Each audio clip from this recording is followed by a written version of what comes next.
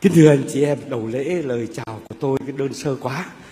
Thế nên bây giờ tôi xin cộng đoàn chúng ta cùng vỗ một tràng pháo tay để chào nhau. À, và đặc biệt là chúng ta ờ, chào mừng một cách trân trọng những anh chị em di dân.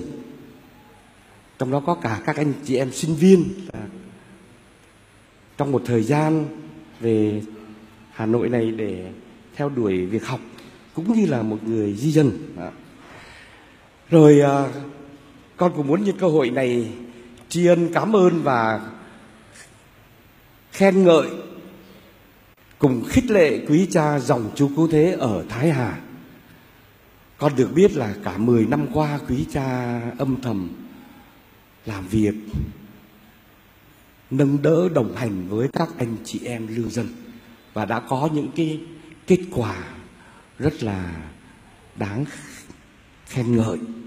Cầu xin chúa giúp cho quý cha sự quảng đại, nhiệt thành để tiếp tục thực hiện một cái sứ vụ rất là quan trọng trong lòng của hội thánh và xã hội hôm nay. Đó là một vụ cho người di dân. Chúng ta chúc mừng các cha bằng một tràng pháo tay nha.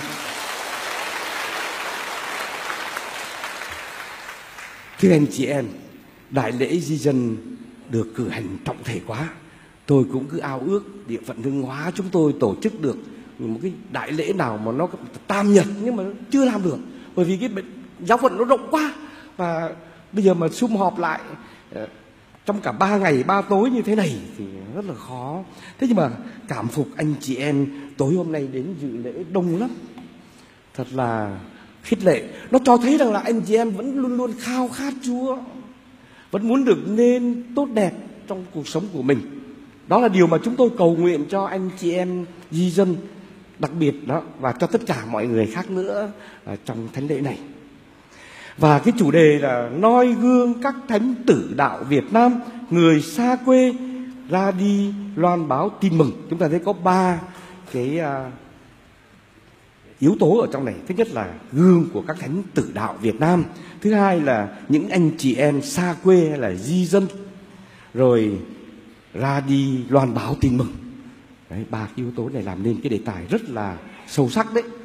Thế thì tôi sẽ cố gắng để trình bày qua bài chia sẻ này à, một vài cái ý tưởng quy lại về ba điểm lớn để mời gọi anh chị em thực hành cái sứ mạng này xét như là người Kitô hữu và hơn nữa là người di dân. Vậy cho nên nếu những anh chị em ở thuộc giáo sứ Tây Hà đây không phải là di dân, nhưng mà anh chị em cũng thấy mình có cái lời mời gọi để thi hành sứ mạng này nhá. Bây giờ, điểm thứ nhất chúng ta phải biết rằng cái sứ mạng loan báo tin mừng không phải là của các linh mục tu sĩ, các nữ tu, các nhà thừa sai, các dòng truyền giáo đâu mà là của mọi tín hữu. Tôi nghĩ rằng điều này chắc anh chị em ai cũng biết rồi. Khởi đi từ lệnh truyền của Chúa mà chúng ta được nghe trong tin mừng hôm nay. Chúa bảo các con hãy đi khắp tứ phương thiên hạ mà loan báo tin mừng cho mọi loài thụ tạo. Đấy là lệnh lên đường. Đấy là bài sai. Đấy là sự vô lệnh của mỗi người tín hữu chứ không phải của riêng ngài. Và anh chị em ơi, Thánh Phaolô tôi có cảm nhận như thế ngài đang gào to lên rằng là khốn cho tôi nếu tôi không loan báo tin mừng. Thư thứ nhất Corinto đoạn 9 câu 16. Ngài tự nhận nếu ngài không đi loan báo tin mừng thì ngài là người bị cái khốn bị cái phạt bị cái trúc dữ khốn cho tôi nếu tôi không loan báo tin mừng. Thưa anh chị em, mọi Kitô hữu không phân biệt nam nữ lớn bé già trẻ có học hay là ít học. Người đi tu hay là người lập gia đình, người ở thành phố hay là thôn quê, tất cả đều phải tham gia vào sứ mạng loan báo tin mừng. Tôi xin đặc biệt lưu ý hai cái khía cạnh sau đây trong cái sứ mạng này. Khía cạnh thứ nhất, trong mọi hoàn cảnh, kể cả trong nghịch cảnh, thì Kitô hữu đều có thể loan báo tin mừng. Đấy, chúng ta phải loại bỏ cái tư tưởng rằng là cái thời cơ này không thuận lợi, lúc này đang có những cái khó khăn này cản trở kia. Từ bên ngoài vào từ bên trong ra để mình khoan giãn việc thực hiện sứ mạng này. Đó. xin anh chị em lưu ý, trong mọi hoàn cảnh, kể cả nghịch cảnh, Kitô hữu chúng ta vẫn có thể loan báo tin mừng. Tôi xin minh chứng.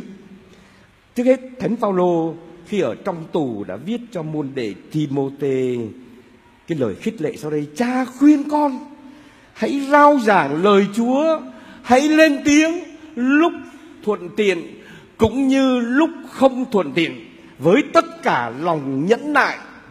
Còn hãy chịu đựng đau khổ, tức là nghịch cảnh đấy, làm công việc của người loan báo tin mừng. Thư thứ hai gửi Timôthê đoạn 4 câu 1 đến câu 5 một cái chứng từ thứ hai, các thánh tử đạo Việt Nam đấy, cái đề tài này đây là noi gương các thánh tử đạo. Chúng ta xem các thánh tử đạo thi hành sứ mạng trong nghịch cảnh như thế nào.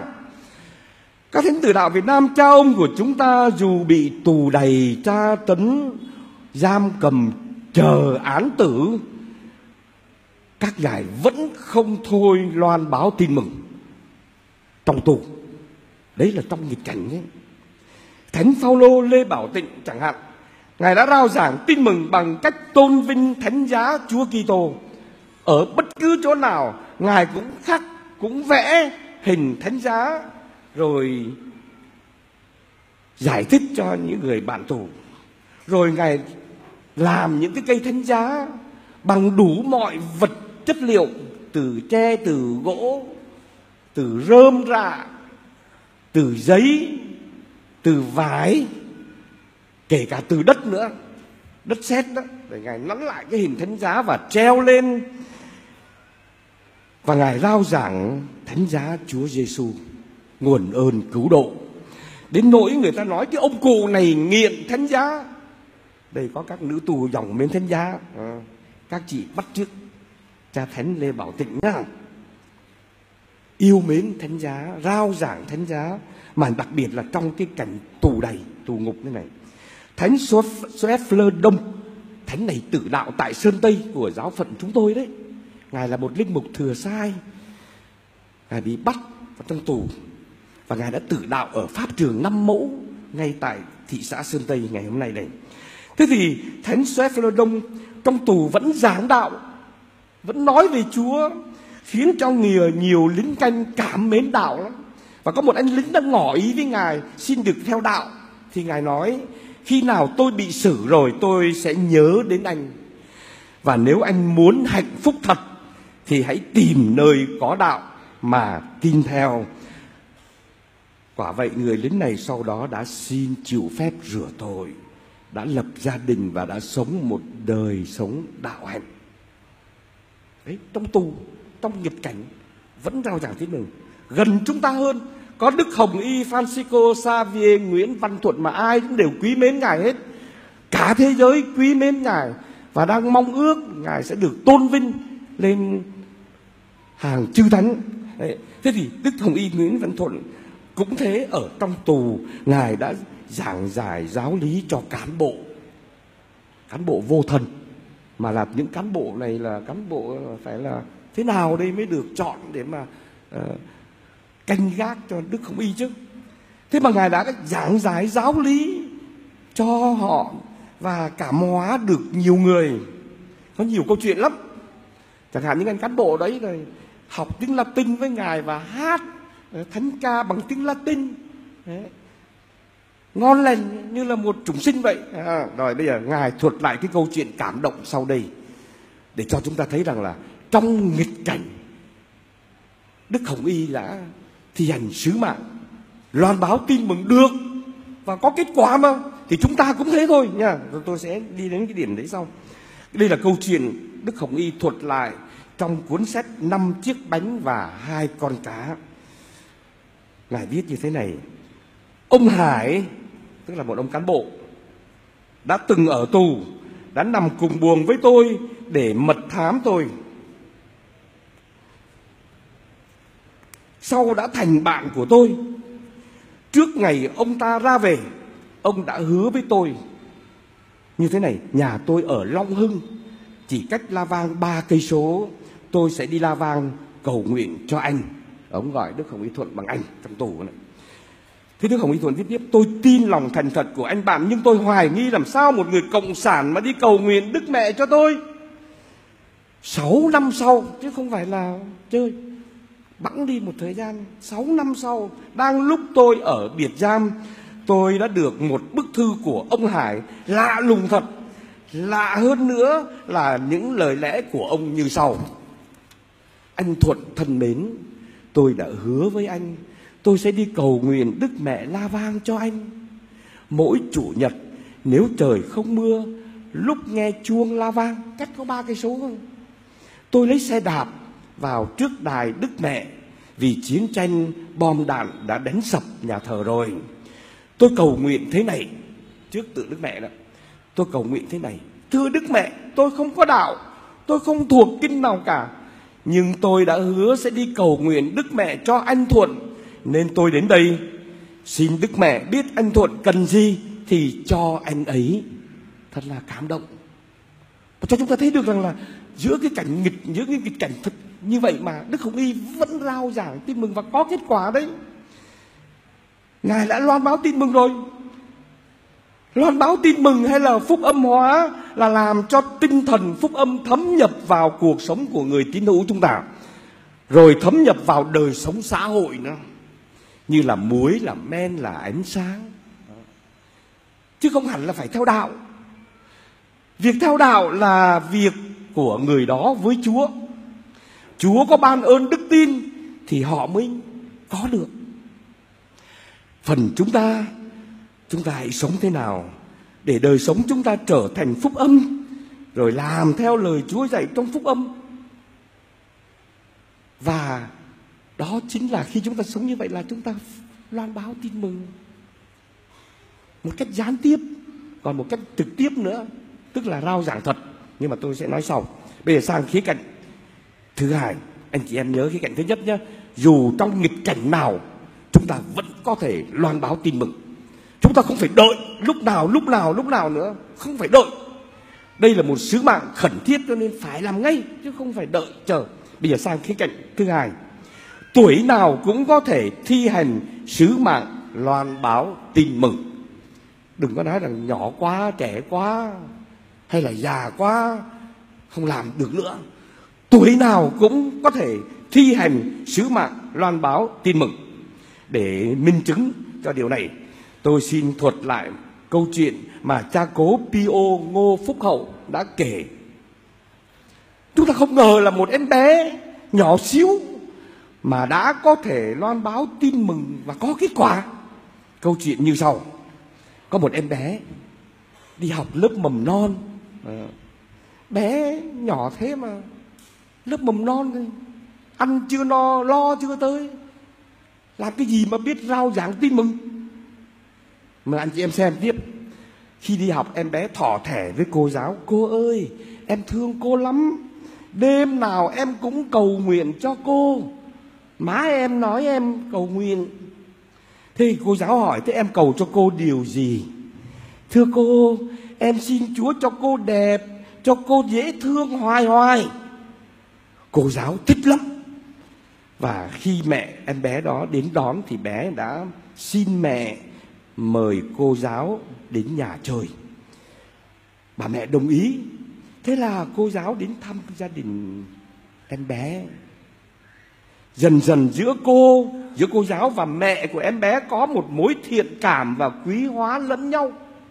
Tiếp xúc với nhau thì quý nhau.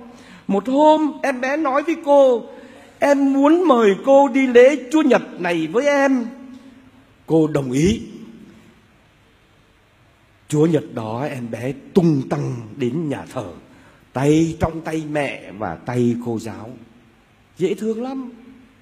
Và nhờ đi lễ, nhờ tiếp cận với cái gia đình công giáo này, cô giáo đó đã cảm mến chúa và cô quyết định theo đạo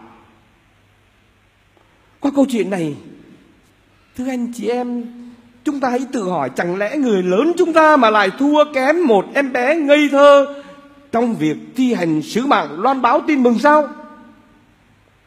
Chúng ta ý thức là đó là bổn phận của chúng ta. Trong mọi hoàn cảnh chúng ta có thể thi hành này, và tuổi tác nào cũng vẫn có thể thi hành được. Đấy. Bây giờ tôi sang điểm thứ hai. Hoàn cảnh di dân xa quê, như anh chị em đây là cơ hội tốt để loan báo tin mừng, chứ không phải là một cơ hội xấu. Thưa anh chị em, chúng tôi biết vì gánh nặng cơm áo gạo tiền cho gia đình mình mà anh chị em di dân buộc phải rời gia đình để đến nơi thủ đô này mà làm ăn. Tôi mong rằng giữa cuộc sống vất vả cơ cầu ở đây anh chị em vẫn giữ được đức tin và lòng đạo của mình. Đừng có để mãi kiếm tiền mà lơ là, kinh lễ. Đồng thời tôi cũng mong anh chị em ngay trong cảnh sống di dân ở thủ đô hà nội này, không quên trách nhiệm loan báo tin mừng. Bởi vì anh chị em vẫn có thể loan báo tin mừng được ngay trong hoàn cảnh sống của anh chị em. Tôi xin dẫn chứng, ngày xưa thời giáo hội sơ khai các tín hữu ở Palestine để tránh cơn bách hại đạo thì đã di dân đã đi đến Tiểu Á, Hy Lạp, La Mã và nhờ việc di dân đó mà đạo công giáo đã lan rộng khắp đế quốc La Mã. Ngày hôm nay cũng thế, việc anh chị em di dân kinh tế đến đây làm ăn cũng là cơ hội để cho đạo được lan truyền nó hơn là túng tụng lại ở các họ đạo quê nhà ở Bùi Chu, Thái Bình, Phát Diệm và cả Hương Hóa nữa. Mình cứ túng tụng lại để chỉ giữ đạo cho mình thôi chứ còn chẳng có dịp gặp gỡ ai. Có những sứ đạo toàn tòng mà. Thế rồi thì truyền giáo cho ai? Nhưng mà thật ra thì vẫn có môi trường để truyền giáo chứ. Rồi một dẫn chứng khác nữa, anh chị em biết rằng là thời các nước Tây Ban Nha, Bồ Đào Nha, Ý, Pháp, vân vân đi mở mang thuộc địa ở châu Á, họ đến những nước như Ấn Độ, rồi Hạ Trung Hoa, vân vân. Thế thì người ta là có một cái câu nó trở thành châm ngôn hương liệu, hạt tiêu và các linh hồn. Đấy. Nghĩa là người ta đi tìm tìm hương liệu, tìm hạt tiêu. Bởi vì lúc đó cái hạt này nó quý lắm, hạt tiêu và các linh hồn, tức là sứ mạng loan báo tin mừng. Nó cho thấy rằng là những người ở các nước Âu Châu đó, khi đi tìm lợi lộc qua việc chiếm đất đai và làm ăn buôn bán, nhưng mà họ cũng không quên là mang tin mừng đến cho các dân nước châu Á chúng ta di dân là được cơ hội để loan báo tin mừng, để cho đạo Chúa được lan phát triển đấy. Cho nên anh chị em di dân thân mến cái hoàn cảnh cuộc sống của anh chị em ở đây này, anh chị em hãy nghĩ rằng nó là thuận lợi đó, là cơ hội đó, để anh chị em không phải chỉ là kiếm tiền mà thôi, kiếm tiền nuôi sống vật chất, vật xác của chúng ta nhưng mà anh chị em đừng quên là đây cũng là một cái nơi để tôi kiếm các linh hồn cho Chúa. À, bây giờ tôi sang điểm thứ ba, cái khía cạnh thứ ba. Anh chị em di dân loan báo tin mừng bằng cách nào? Dĩ nhiên trước hết là bằng cách nói về Chúa, bằng rao giảng. Như bài đọc thứ hai hôm nay cũng nói với chúng ta đó. Tin làm sao được nếu không có ai rao giảng? Rao giảng thế nào được nếu không được sai đi? Thì bài phúc âm Chúa sai rồi đó. Chúa sai tất cả chúng ta đi rao giảng. Và bây giờ chúng ta dùng chính lời nói của chúng ta để để giới thiệu Chúa đạo cho anh chị em lương dân. Cách thứ nhất là như vậy. Tuy nhiên, chúng ta phải nhìn nhận một cái thực tế này là rất nhiều người công giáo Việt Nam, nhất là ở những vùng quê do điều kiện khách quan và chủ quan ít hiểu biết lời Chúa lắm và giáo lý nữa. Lơ mơ về giáo lý lắm. Cái này thật đáng lo ngại. Bởi vì ít hiểu biết về Chúa, về đạo thì sẽ ít mến Chúa. và ít mến Chúa thì sẽ dễ mất đức tin, hoặc là niềm tin đó có thể bị lệch lạc, trở thành mê tín, dị đoan, và hơn nữa sẽ không thể mạnh dạn rao giảng về Chúa được. Vì thế, tôi xin anh chị em di dân cố gắng tham dự các khóa giáo lý. Tôi được biết ở Thái Hà đây cũng như các sứ đạo trong Hà Nội này có những cái sinh hoạt đạo, có những cái lớp giáo lý. Anh chị em đến tham dự đi. Rồi anh chị em đọc lời Chúa, anh chị em suy niệm và cầu nguyện để lời Chúa phúc âm hóa chính mình rồi mới mong chúng ta sẽ phúc âm hóa cho anh chị em ở đây chúng ta thấy một ý nghĩa rất hay. Lời chúa chính là ánh sáng này. Là men là muối vùi vào trong thửa ruộng là tâm hồn chúng ta. Biến chúng ta cũng thành bột thành bột dậy men à, thành muối mặn và thành ánh sáng. Chúa bảo các con là ánh sáng thế gian. Sự sáng của các con phải chiếu rãi ra trước mắt mọi người để họ thấy việc các con làm mà ngợi khen cha các con ở trên trời. Đấy chúng ta đã được trở nên muối men ánh sáng. Và rồi đến lượt chúng ta lại là muối để ướp lại cho đời cho anh chị em khác, làm men làm cho anh chị em khác cũng được thấm vào cái men phúc âm của nơi chúng ta đó và cũng trở nên ánh sáng. Đấy. Ý nghĩa lắm Thế có một cách khác nữa cũng hữu hiệu, đó là làm chứng cho tin mừng bằng một đời sống kỳ tô hữu tốt lành. Tôi nói là tốt lành anh chị em ạ, chứ không phải kỳ tô hữu thế nào cũng được. Anh chị em thấy xã hội chúng ta hiện nay thật là đảo điên có phải không? Làm con người mất phương hướng ấy. Không còn khao khát đi tìm đấm chân thiện mỹ để rồi chỉ còn chạy theo danh lợi thú và người ta sẵn sàng dùng bạo lực với nhau khủng khiếp quá sức dân tộc Việt Nam chúng ta tự hào bốn ngàn năm văn hiến và được ảnh hưởng nho giáo khổng giáo những đức tính rất tốt đẹp nhưng mà bây giờ mất hết rồi. Chưa kể là những đức tính của Kitô giáo.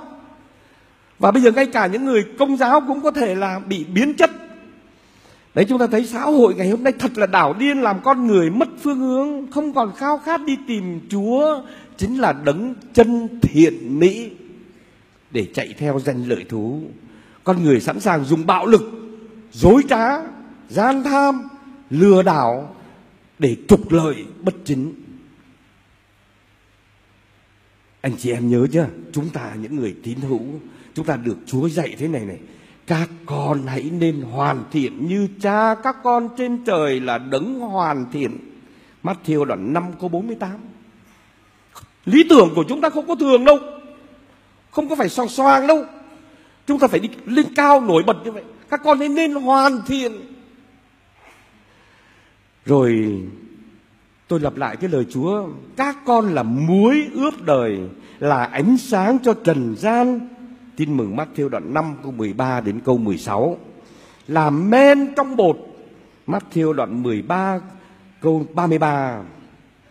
Thánh Phêrô trong thư gửi tín hữu Philippe đoạn 2 câu 15 câu nói giữa một thế hệ gian tà xa đọa như là xã hội Việt Nam chúng ta hôm nay đầy sự xa đọa, gian tà, đấy.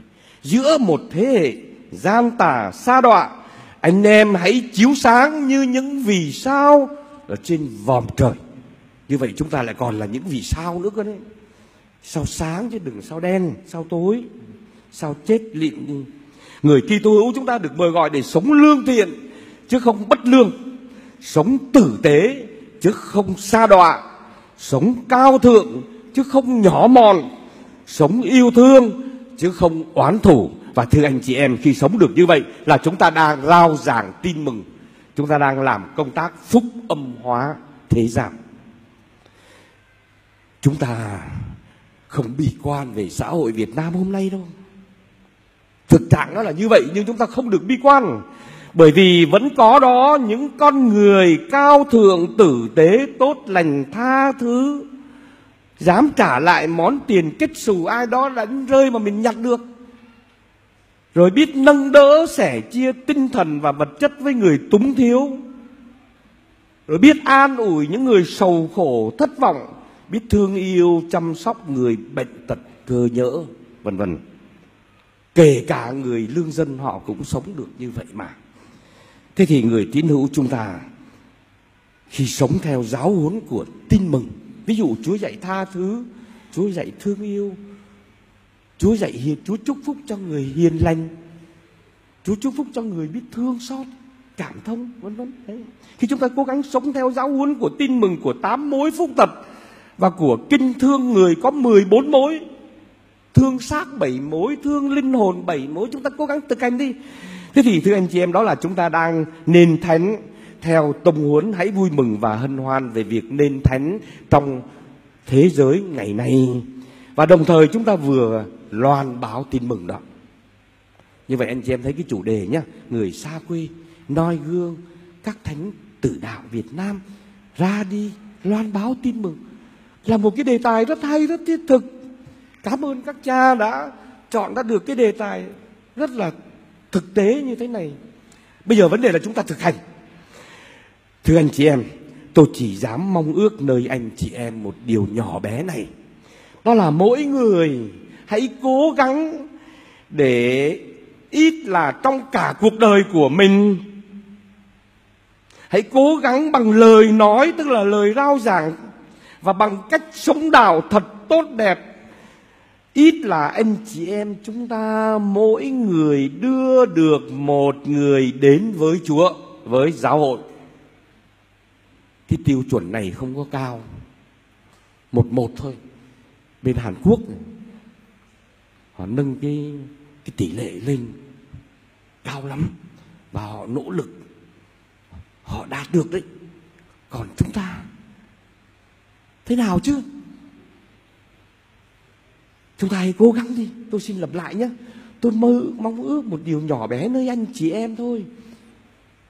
Tôi ước ao rằng là anh chị em trong cả đời của mình, ít là anh chị em đưa được một người từ chỗ chưa biết chúa đến chỗ biết chúa. Từ chỗ không tin chúa thì tin chúa. Từ chỗ không biết đi đâu, thì bây giờ sẽ đi đến với đạo chúa, với hội thánh cha ông chúng ta, thưa anh chị em, các thánh tử đạo đó, đã dám chết để làm chứng cho niềm tin vào Chúa và các ngài đã góp phần loan báo tin mừng cho quê hương chúng ta theo câu nói thời danh của Tertulliano rằng máu các thánh tử đạo là hạt giống trổ sinh kỳ tổ hữu. Bằng cả cái chết, các ngài vẫn loan báo tin mừng đấy thế thì phần chúng ta hãy noi gương các ngài và hãy sống như thế nào để làm chứng cho niềm tin vào Chúa và nhờ đó làm cho giáo hội Việt Nam chúng ta được tăng trưởng thêm đông, thêm vui và trở thành một cây to sum xê hoa trái. Amen. Cảm ơn tất cả anh chị em.